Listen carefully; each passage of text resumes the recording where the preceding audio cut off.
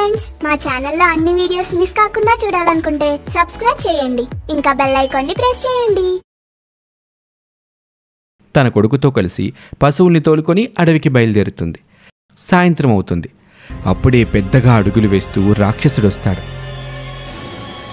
రాక్షసుని చూసిన తర్వాత పశువులు భయపడి అరుస్తూ ఉంటాయి. పశువుల అరుపులకి శాంతమ్మ కొడుకు రవి ఇద్దరు నిద్రలేస్తారు. వాళ్ళ కళ్ళ ముందే భారీ ఆకారంతో మూడు తల్ల రాక్షసుడు పశువుల్ని తింటూ ఉంటాడు. వాడు తింటున్నంతసేపు వాడి కాళ్ళకున్న బంగారు కడియాల నుంచి బంగారం వస్తూనే ఉంటుంది. అది చూసిన శాంతమ్మ ఆశ్చర్యపోతుంది. ఈ కడియాలు బంగారాన్ని ఇస్తాయన్నమాట ఎలాగైనా సరే ఈ బంగారపు కడియాలు దాని దగ్గర నుండి నేను దోచుకోవాలి. అని శాంతమ్మ తన మనసులోనే అనుకుంటుంది. రాక్షసుడి ఆకలి తీర్చుకోవటంతో అక్కడి నుంచి తిరిగి వాడి గుహకు వెళ్తూ ఉంటాడు. రవి నువ్వు ఈ బంగారాంతా మూటగట్టుంచు. ఇప్పుడే వస్తాను. అని మెల్లగా నడుచుకుంటూ ఆ రాక్షసుడి గుహలోకి ప్రవేశిస్తుంది శాంతమ్మ.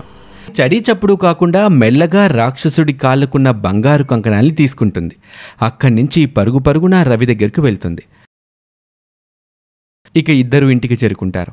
కొంతసేపటికి రవి బయటకు వెళ్ళిపోతాడు. శాంతమ్మ కొడుకు వెళ్ళిపోయిన తర్వాత తను తీసుకొచ్చిన బంగారు కంకణాలు తన కాళ్ళకి వేసుకుంటుంది.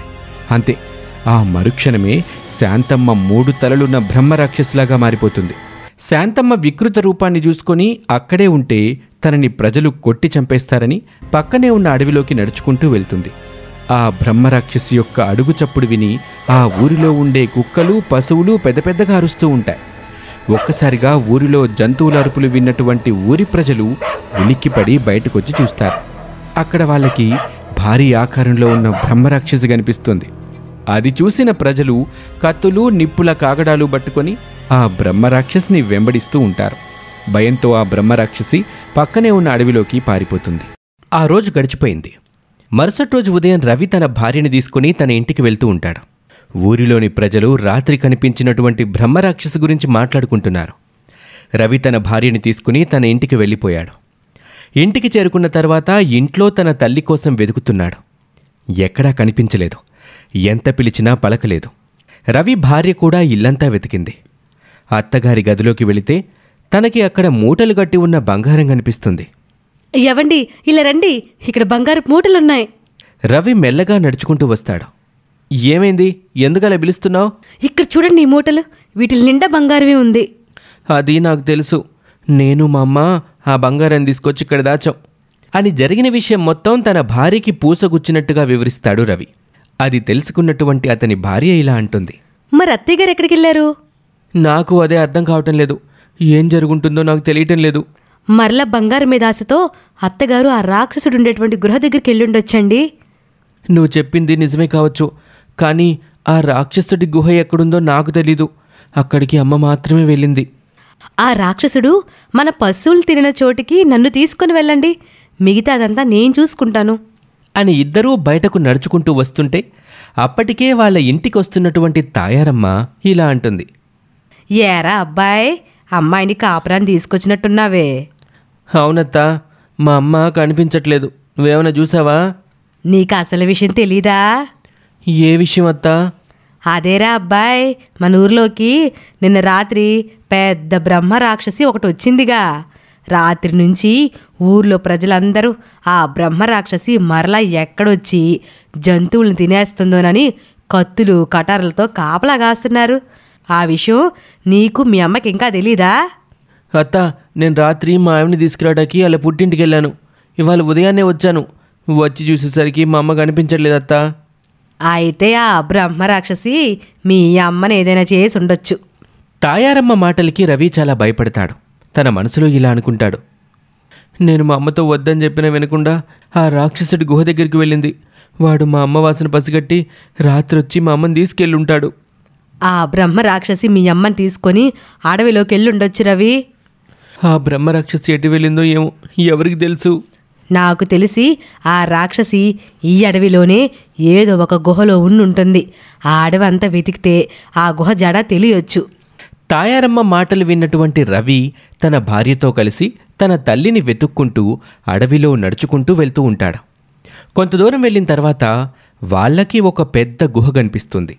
లోపలికి వెళ్ళి చూస్తే అక్కడ గుర్రు పెట్టి నిద్రపోతున్న మూడు తలకాయల బ్రహ్మరాక్షసి కనిపిస్తుంది.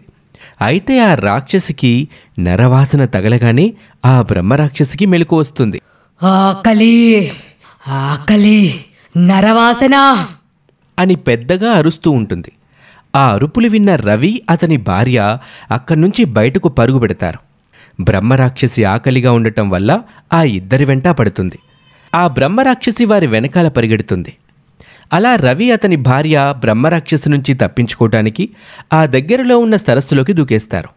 అప్పటిదాకా వారి వెనకాలే వచ్చిన బ్రహ్మరాక్షసి వెనక్కి తిరిగి వెళ్ళిపోతుంది. నదిలోకి దూకినటువంటి రవి అతని భార్య నదిలో ఈదుకుంటూ దగ్గరలో ఉన్న ఒడ్డుకి చేరుకుంటారు. ఈ బ్రహ్మరాక్షసి కానీ మా అమ్మని తినేలేదు కదా?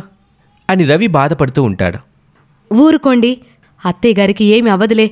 ముందు పదండి. అత్తయ్య గారు ఎక్కడున్నారో కనిపెడదాం. అలా ఇద్దరూ అక్కడి నుంచి నడుచుకుంటూ ముందుకు వెళ్తూ ఉంటారు. వారికి ఒక ముని ఆశ్రమం కనిపిస్తుంది. ఇద్దరు ఆశ్రమంలో ఉన్న ముని దగ్గరకు చేరుకుంటారు. ఆ ఇద్దరినీ చూసిన సన్యాసి ఇలా అంటారు ఎవరు నాయనా మీరు? ఈ కారడవిలో మీరు ఇక్కడ ఏం చేస్తున్నారు? రవి జరిగింది మొత్తం సన్యాసికి వివరిస్తాడు. రవి చెప్పింది విన్న సన్యాసి తన దివ్య దృష్టితో మొత్తం చూస్తాడు. రవి చెప్పింది మొత్తం నిజమే అని గ్రహిస్తాడు. మీరనుకుంటున్నట్టు మీ అమ్మని ఆ రాక్షసి ఏమీ ఎత్తుకుపోలేదు. అని జరిగిందంతా వాళ్ళకి చెప్తాడు. దురాశ దుఃఖానికి చేటు. బ్రహ్మరాక్షసుడు ధరించిన బంగారు కంకణాలని మీ అమ్మ తన కాళ్ళకి వేసుకుంది.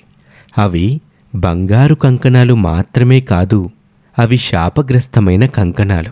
వాటిని మితిమీరిన అత్యాశ కలిగిన వాళ్ళు మాత్రమే అత్యాశతో కాళ్ళకి వేసుకుంటారు. మీరు చెప్పింది ఏంటో నాకు అర్థం కావటం లేదు స్వామి. పూర్వం మధుడు అనే ఒక సకల విద్యలు తెలిసిన పండితుడు ఉండేవాడు. అతనికి దురాశ బాగా ఎక్కువ. అంతా తనకే తెలుసు అనుకుంటాడు. ఊరిలో వాళ్ళని చిన్న చిన్న వాటికి శపిస్తూ బాధ పెడుతూ ఉండేవాడు. అయితే ఒకరోజు ఊరికి రామదాసు అనే గొప్ప సన్యాసి వస్తాడు. కొన్ని రోజుల తరువాత ఒకరోజు మధుడు ఆ సన్యాసిని ఇంటికి భోజనానికి రమ్మని పిలిచాడు. అతిథి మర్యాదలు అన్నీ బాగా చేశాడు. కానీ ఆ సన్యాసి దగ్గర అందమైన మెరుస్తున్న బంగారు కంకణాలని చూస్తాడు. పండితుడికి దుర్బుద్ధి పుట్టింది. తన దగ్గర పనిచేసే పనివాళ్ళ చేత ఆ సన్యాసి పడుకున్న తర్వాత ఆ బంగారు కంకణాలని దొంగలింపచేస్తాడు. వాటిని ఆ మధుడు ధరిస్తాడు. కాసేపటికి నిద్రలేచిన సన్యాసి పండితుడు వేసుకున్న బంగారు కంకణాలని చూసి పండితుణ్ణి అడిగాడు. అందుకు పండితుడు అవి తనవే అని అబద్ధం చెప్పాడు. కోపంతో సన్యాసి నా బంగారు కంకణాలు ధరించినవాడు మూడు తలల బ్రహ్మరాక్షసిగా మారిపోవునుగాక అని శపించాడు. చూస్తూ ఉండగానే ఆ పండితుడు మూడు తలల బ్రహ్మరాక్షసిలాగా మారిపోయాడు. చేసిన తప్పు తెలుసుకున్నటువంటి ఆ పండితుడు దారి చూపమని వేడుకున్నాడు. అప్పుడు ఆ సన్యాసి నువ్వు ఎలాగైతే స్వార్థంతో నా బంగారు కంకణాలు దొంగిలించి తిరిగి అవి నీవే అని చెప్పి వేసుకున్నావో అలాగే వేరెవరైనా వాటిని వేసుకుంటే అప్పుడు నీకు శాప విమోచనం అవుతుంది అని చెప్పాడు. మరల నీకొచ్చిన శాపం ఆ కంకణాలు వేసుకున్న వాళ్ళకి తగులుతుంది అని చెప్పాడు. స్వామి అది మా అమ్మగారు ధరించారు. ఇప్పుడు మా అమ్మ బ్రహ్మరాక్షసులాగా మారిపోయి ఉంటుంది. కాపాడుకునే మార్గాన్ని మీరే చూపించండి. నాయనా ఇందులో నువ్వు నేను చేయగలిగింది ఏమీ లేదు. ఎందుకంటే అది వాళ్ళు తమంతట తాముగా దుర్బుద్ధితో చేసుకున్న పని. వాళ్ళు చేసిన కర్మకి ఫలితం అనుభవించక తప్పదు. లేదు స్వామి మీరు మా అత్తగారిని ఎలాగైనా సరే మామూలు మనిషిగా మార్చాలి. లేకపోతే ఇక్కడే నా శ్వాస విడిచేస్తాను. అంటూ రవి భార్య ఏడుస్తూ ఉంటుంది. అది విన్నటువంటి సన్యాసి మనసు కరిగిపోతుంది. మీ అత్తగారిని కాపాడుకోవాలి అనే నీ దృఢ సంకల్పమే ఆమెని ఇప్పుడు కాపాడుతుంది. మీ అత్తగారిని కాపాడాలంటే తన కాళ్ళకున్న బంగారు కంకణాలని తొలగించాలి. అది తను బ్రతికున్నప్పుడు వీలు కాదు. కనుక ముందు ఆ బ్రహ్మరాక్షసిని అంతం చెయ్యాలి. ఆ తరువాత తన కాళ్ళకున్న బంగారు కంకణాలని తొలగిస్తే తను మామూలు రూపంలోకి మారిపోతుంది. అప్పుడు మరలా మీ అత్తగారిని మృత సంజీవని విద్య ద్వారా బ్రతికించే అదృష్టాన్ని నేను కలిగిస్తాను.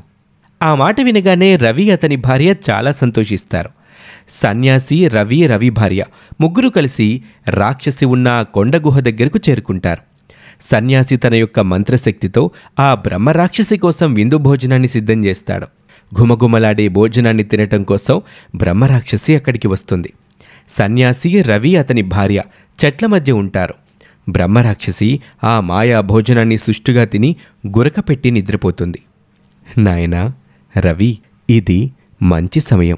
ఆలస్యం చేయకు. అంతా క్షణాల్లో జరిగిపోవాలి. అని ఆ సన్యాసి తన మాయాశక్తితో కత్తిని సృష్టించి రవికిస్తాడు. ఒకే ఒక్క వేటితో ఆ బ్రహ్మరాక్షసి యొక్క తలకాయ మొండెం నుంచి వేరు చెయ్యాలి.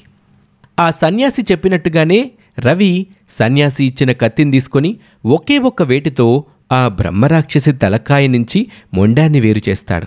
అమ్మా నువ్వు వెళ్ళి ఆ బ్రహ్మరాక్షసి కాళ్ళకున్న బంగారు కంకణాలని తీసి పక్కనే ఉన్న నదిలోకి విసిరేయి. రవి భార్య ఆ సన్యాసి చెప్పినట్టుగానే ఆ బ్రహ్మరాక్షసి కాళ్ళకున్న కంకణాలని తీసుకెళ్ళి పక్కనే ఉన్న నదిలోకి విసిరేస్తుంది. చూస్తూ ఉండగానే ఆ బ్రహ్మరాక్షసి అదృశ్యమైపోతుంది. అక్కడ రవి తల్లి యొక్క శరీర భాగాలు కనిపిస్తాయి. నాయనా ఆ తలకాయను తీసుకువెళ్ళి ఆ మొండెం దగ్గర పెట్టు. సన్యాసి చెప్పినట్టుగానే రవి తలకాయని తీసుకువెళ్ళి ఆ శరీరానికి అందిస్తాడు. సన్యాసి తన యొక్క చేతిలోకి కొంత జలాన్ని తీసుకొని దాన్ని మంత్రించి రవి తల్లి యొక్క శరీరంపై జల్లుతాడు. చూస్తూ ఉండగానే చనిపోయింది అనుకున్న తన తల్లి నిద్రలో నుంచి లేచి కూర్చున్నట్టుగా పైకి లేస్తుంది. శాంతమ్మ తన కొడుకును చూసి చాలా సంతోషిస్తుంది. జరిగింది మొత్తం రవి తల్లికి వివరిస్తాడు. శాంతమ్మ తాను ఇప్పటివరకు చేసినటువంటి తప్పును తెలుసుకుంటుంది. అక్కడున్న సన్యాసి కాళ్ళ మీద పడి క్షమించమని వేడుకుంటుంది. తన భార్యని తన తల్లిని తీసుకొని రవి ఇంటికి చేరుకుంటాడు. శాంతమ్మ ఇక ఎన్నడూ తన కోడలిని కట్నం అంటూ బాధపెట్టలేదు. అంతేకాకుండా వాళ్ళు తీసుకొచ్చినటువంటి బంగారంతో పేద ప్రజలకి దానధర్మాలు చేస్తూ ఉంటుంది శాంతమ్మ. ఈ స్టోరీ మీకు నచ్చితే మా ఛానల్ని ఇప్పుడే సబ్స్క్రైబ్ చేసుకోండి. Thank you for watching.